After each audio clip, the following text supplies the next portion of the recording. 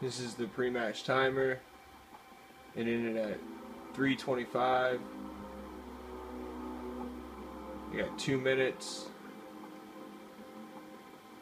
Start the game or they forfeit.